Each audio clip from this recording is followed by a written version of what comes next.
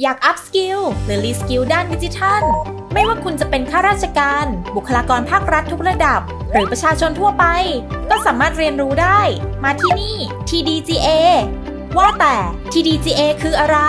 TDGA หรือสถาบันพัฒนาบุคลากรภาครัฐด้านดิจิทัลดำเนินงานภายใต้การกำกับดูแลของ DGA ทำหน้าที่ส่งเสริม สนับสนุน ให้บริการงานวิชาการด้านทักษะดิจิทัล